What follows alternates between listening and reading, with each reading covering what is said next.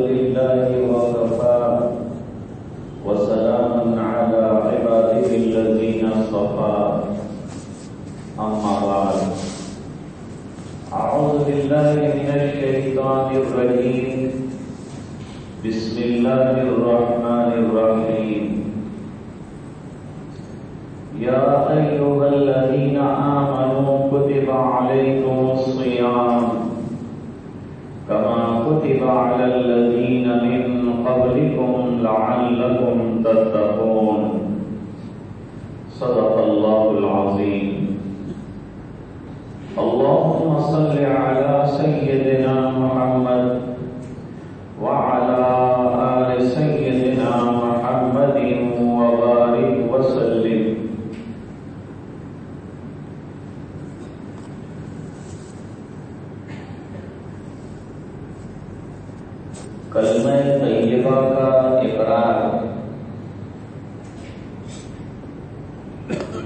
इसका मानवी मफहूम ये निकलता है कि हम एक अल्लाह के हुक्मों को बजा लाने के पाबंद रहेंगे और अल्लाह के अहकाम में अपनी मर्ज़ी और अपने मिजाज को दखल नहीं देंगे। जितना अल्लाह का हुक्म होगा, वो करेंगे। और जिन चीज़ों से अल्लाह ताला मना फरमा दे चाहे वो हमारी अकल के खिलाफ हो, हम उसी पर अमल पैरा रहेंगे, यानी उन तमाम चीज़ों को नहीं करेंगे जिनको करने से मना किया है। इस्लामी ज़िंदगी और एक मुसलमान की ज़िंदगी का फलसफा यही है। पुराने करीम ने इसको बहुत सारे अल्फाज में समझाया है। अल्लाह फरमाते हैं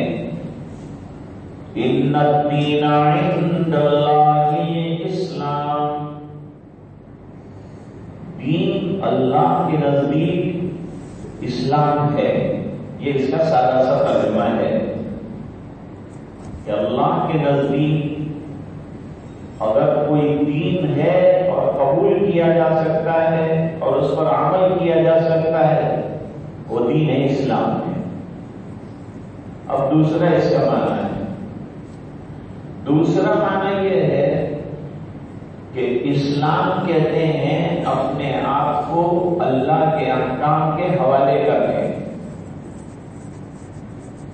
जैसे भी हालात आए, चाहे वो हालात गम के हों, चाहे वो हालात राहतों के हों, चाहे वो आराम के हों, चाहे वो परेशानियों के हों, चाहे वो दुख के हों, चाहे वो सुख के हों ये तमाम औकात में सिर्फ़ अल्लाह की मर्ज़ी को अपनी ज़िंदगी में दाखिल करना और जितनी नामर्जियाँ है उनसे अपने आप को बचाना।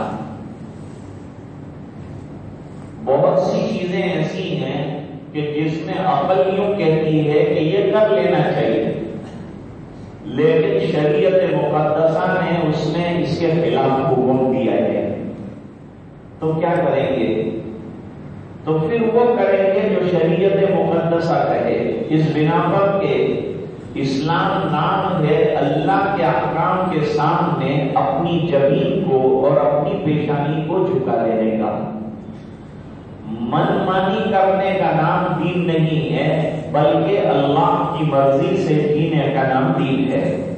इसके चंद नजायर देखेंगे आज। जिनमें से एक बड़ी नजीर माह रमज़ान भी है। रमज़ान में जो बड़ी बड़ी नेमतें अल्लाह ताला ने अदा फरमाई है और खसूसियात अदा फरमाई हैं, उनमें एक है रोजा, दूसरा है तरावी, तीसरा है सखावत का करना।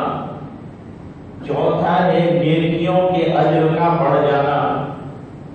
पांचवा है इस महीने में लैलतुल कद्र का मिलना। छठा है इस महीने में रमज़ान में कुरान करीम का उतारा जाना। ये सब नेमतें हैं जो रमज़ान और मुबारक में अल्लाह ताला ने हमको अता करवाई है। इसमें पहली बात, रोजा रखना रोजा कैसे करना खत्म कब करना? इसकी तालीम अल्लाह की तरफ़ से हुई है। ये अल्लाह ने मुआयन फरमाया है कि जब मैं कहूँगा तो शुरू करना है, जब हम कहेंगे तो खत्म करना है। इसलिए शुरू करने से पहले सहरी रखी है और खत्म करने के वक्त इफ्तार रखा है। उसका नाम इफ्तार है, इसका नाम शहर है। अब सहरी कब की जाए? कुछ लोग ऐसा करते हैं तरावीह के बाद खाना खाकर सो गए। भी एक सुबह में उठना और फिर नमाज़ भी मुश्किल हो जाती है, लिहाजा हम तो तरावी पढ़कर खा लेते हैं और खा कर सो जाते हैं। ये सही तरीका नहीं सही तरीका यह है कि सरकार ने फरमाया कि शहरी जो है, वो आखिरी वक्त में की जाए आखिरी वक्त में की जाए भाई, हमारे अंदर बहुत ताकत है, हमारे अंदर कुत है। हम खाली इफ्तार कर लेंगे उनको सहरी करने की भी ज़रूरत नहीं है। फिर हम क्यों सहरी करें? कुछ लोगों की ऐसी दलील होती है हमको अल्लाह ने मगरिब में इतना खिला दिया कि अब सहरी की हमको ज़रूरत नहीं है तो अब हम सहरी नहीं करते।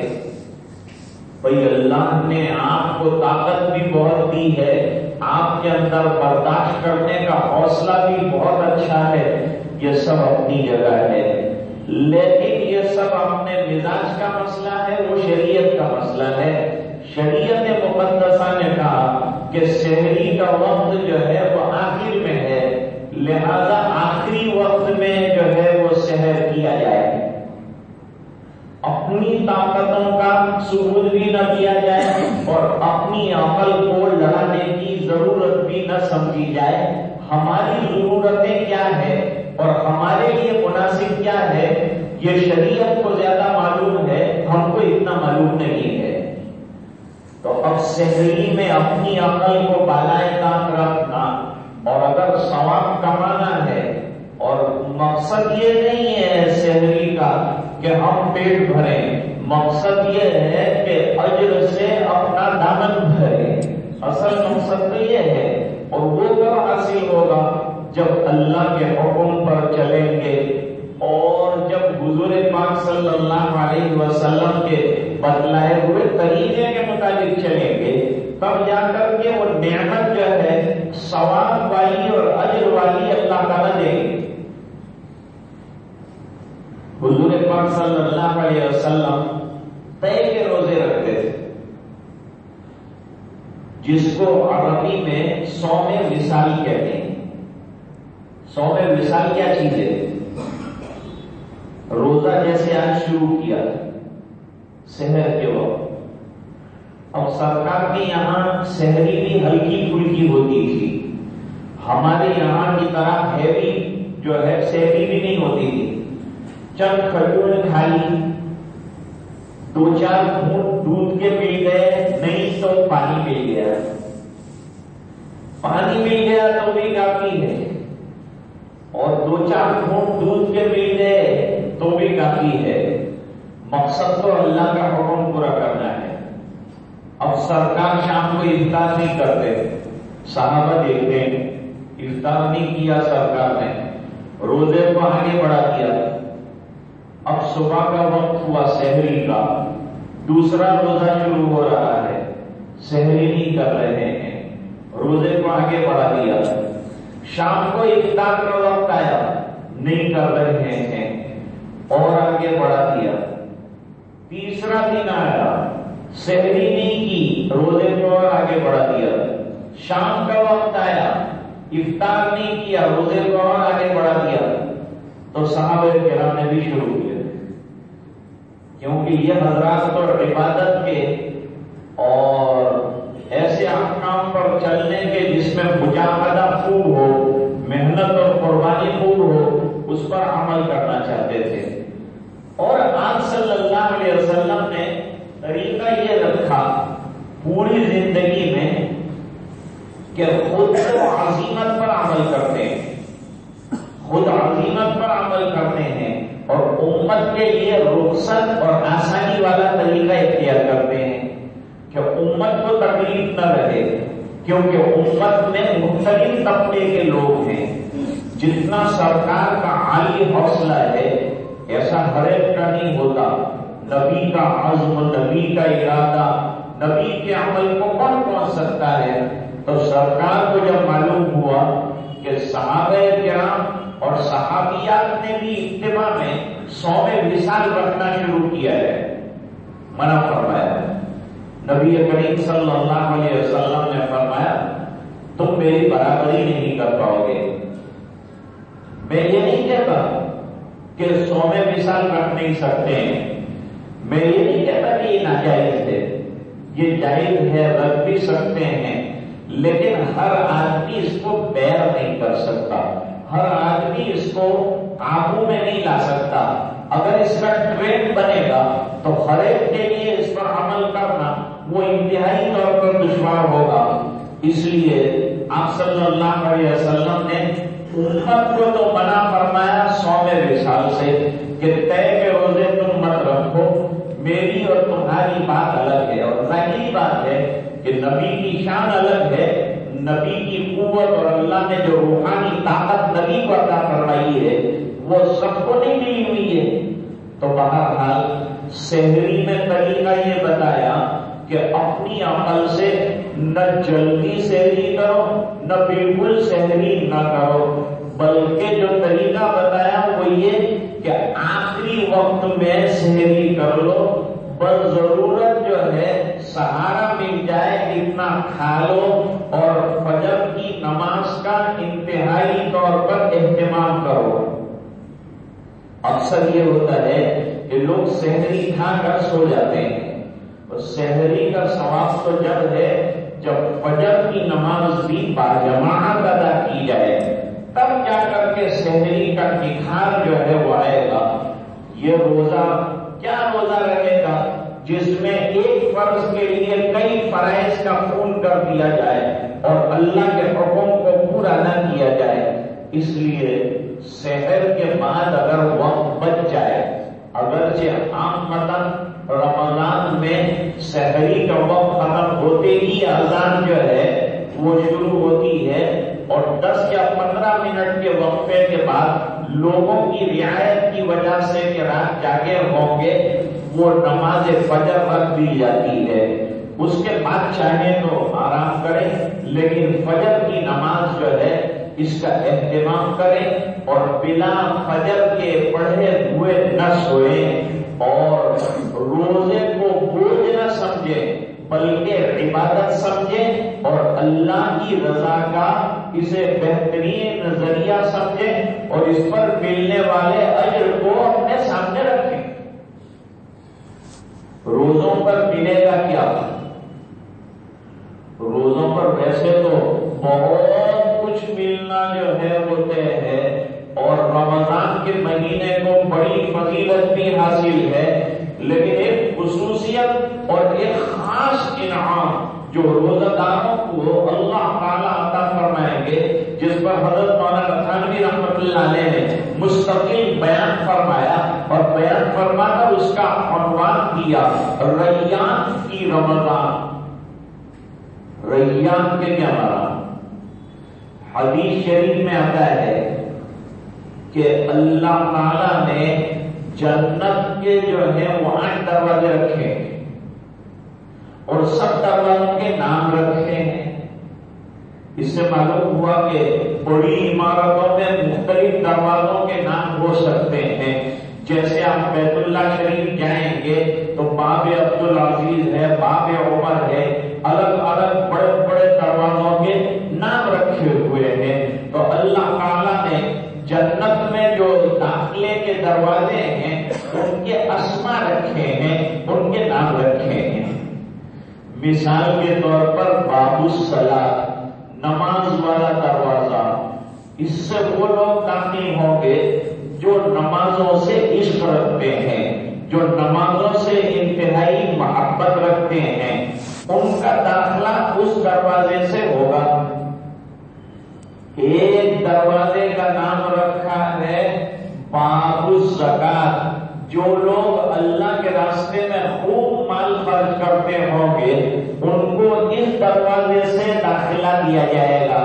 ये दरवाजों के ऊपर फरिश्ते मुन हैं और वो मुन फरिश्ते ऐसे लोगों को पुकारेंगे, जिनके लिस्ट के अंदर नाम होंगे और उनको दाखला जो है वो दे दिया जाएगा। ऐसे आठ दरवाजों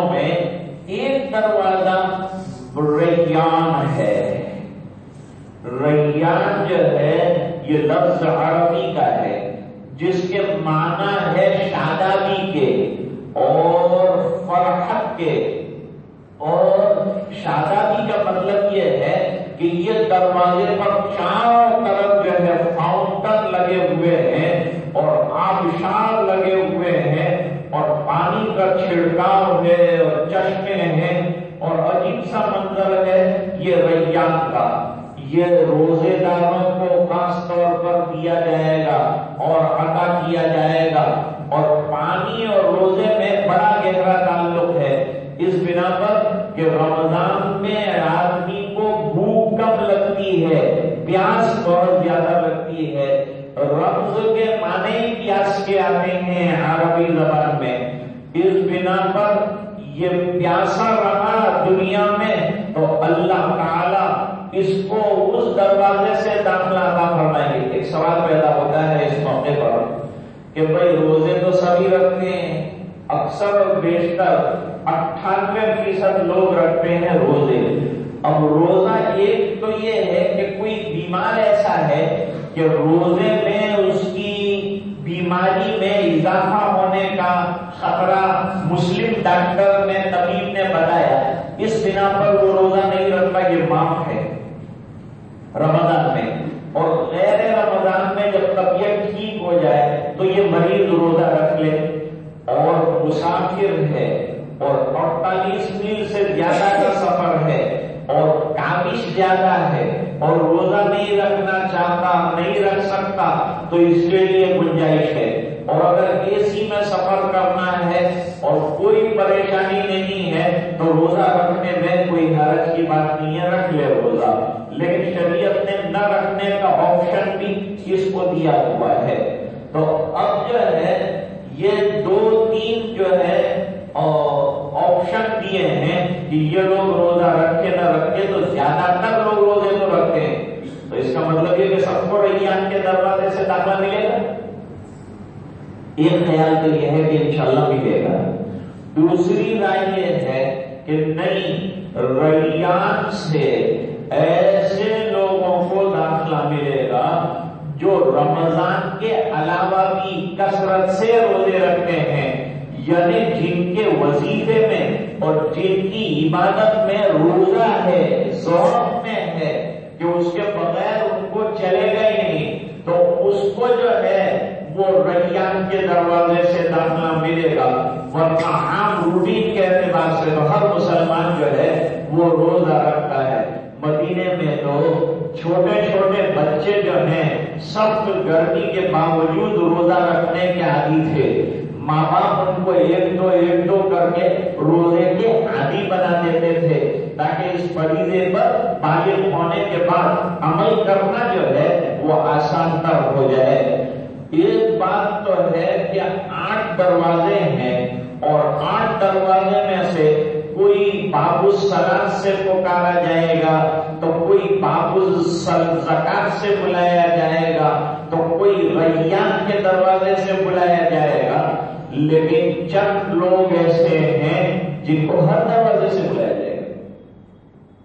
जब सरकार ये बयान करवा रहे थे तो हज़रत सिद्दीक अकबर रज़ी अल्लाह को आमतन सरकार की हर मजलिस में होते थे।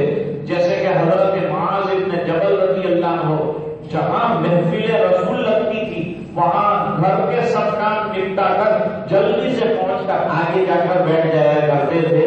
तो हज़रत सिद्दीक अकबर रज़ी अल्लाह वो भी उन खुश नसीबों में है कि ज़्यादातर सरकार की मजलिस में और आपकी महफिल में हाजिर रहते हैं और आपके इर्शादात जो है वो सुनते हैं। लेकिन इस पर एक सवाल होता है सवाल यह है कि फिर हज़रत अबू बकर रज़ी अल्लाह की रिवायतें ज़्यादा क्यों नहीं है? रिवायतें तो हज़रत अबू हुरैरा रज़ी अल्लाह की ज़्यादा है। और सिर्फ़ आठ या नौ साल का अरसा जिसे मिला हज़रत आयशा रज़ी अल्लाह उनकी दो हज़ार दो सौ दस मरवियात हैं।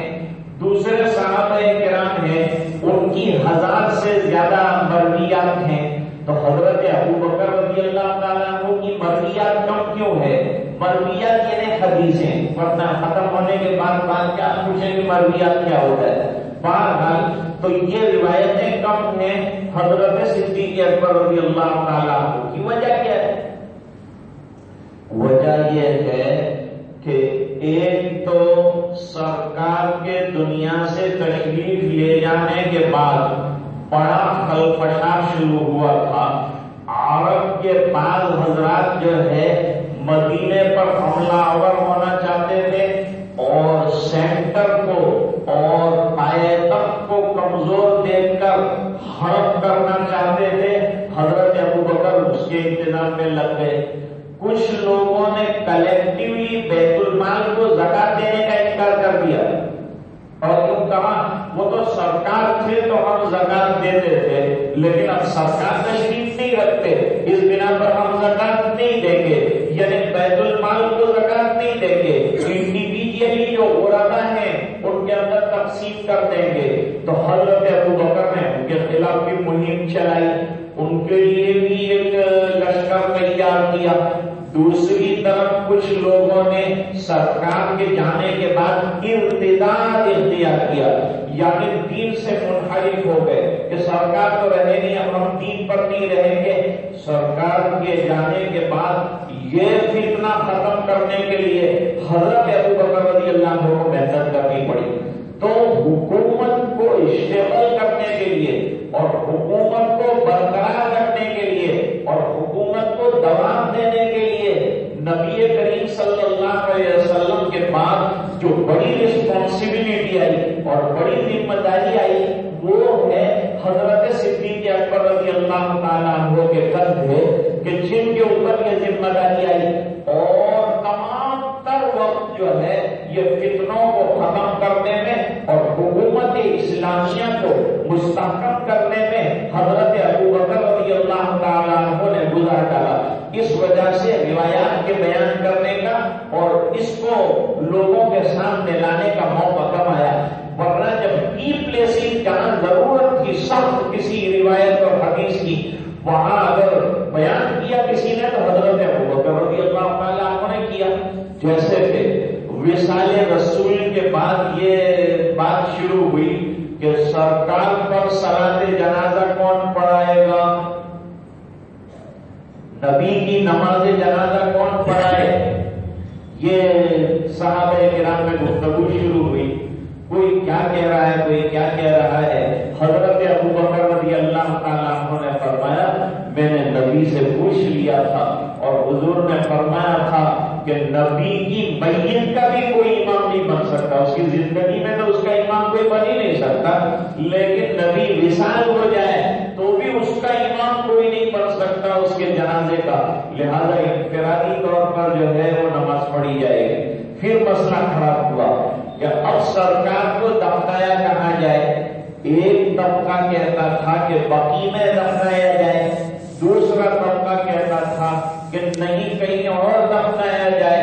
हज़रत अबू बकर रज़ी अल्लाह ने फरमाया, ये भी सरकार ने बात मुझे बताई है और यूँ फरमाया है कि नबी का जहाँ विशाल होता है, वहीं उसका मदफन भी होता है, वहीं उसकी कबर भी होती है। देखिए नादिर रिवायतें हैं जो हज़रत अबू बकर सिद्दीक रज़ी अल्लाह को मालूम है।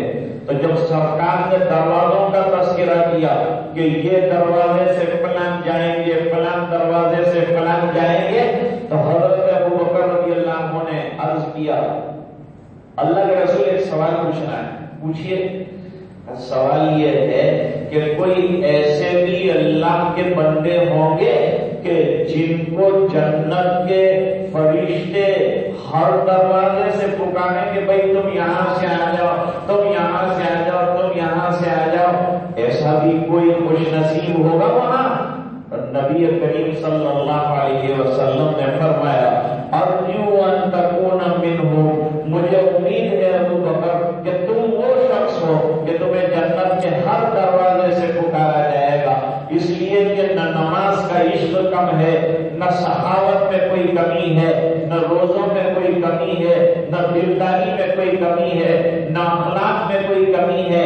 एक दिन में नबी जितने आमाल अंजाम देता है, सब हज़रत अबू बकर रज़ी अल्लाह ताला अंजाम देते हैं। इस बिना पर, इस दरवाजे से, एक और हदीस में नबी करीम सल्लल्लाहु अलैहि वसल्लम ने फरमाया कि जो खातून शौहर की वफादार रही और खिदमत करती रही और खिदमत करते करते दुनिया से चली गई।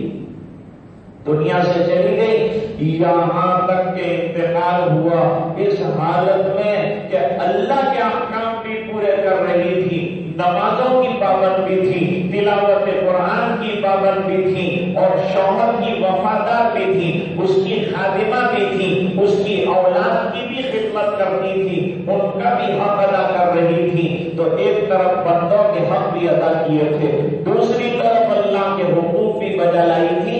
नबी करीम सल्लल्लाहु अलैहि वसल्लम ने फरमाया, जिसका शौहर उसकी बीवी से जाने पर यूँ कह दे अल्लाह मैं इससे राज़ी था, तू भी राज़ी हो जा।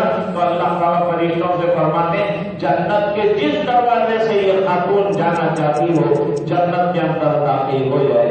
मैं अर्ज़ कर रहा था कि शहरी में भी टाइम लिमिट दिया है, उसी वक्त करना। और इफ्तार में कोई कहे, मैं पहलवान हूँ हूँ मुझे घंटों तक दौड़ के भी प्यास नहीं लगती। लिहाजा इफ्तार मैं काहे के लिए करूँगा? नहीं करता हूँ इफ्तार। मैं रात को देर से शहरी एक साथ कर लूँगा और इफ्तार उस टाइम पे करूँगा। पर नहीं मिलेगा अजर। हमको ताकतें दिखाने को नहीं कहा गया है। हमें अल्लाह का हुक्म पूरा करने का मुकल्लफ बनाया गया है। लिहाजा जैसे ही गुरु होगा जैसे ही अजान होगी, फौरी तौर पर इफ्तार किया जाएगा। खुलासतुल खुलासा ये निकला कि शरीयत नाम है अल्लाह की मानकर चलने का, उसकी मश्क करने का बेहतरीन दौर और जमाना। अगर है तो माह सियाम है और माह रमज़ान है। वैसे पूरी ज़िंदगी है। अल्लाह ताला हम सबको अमल करने की तौफीक अदा फरमाए। वाखिर दावाना अल्हम्दुलिल्लाह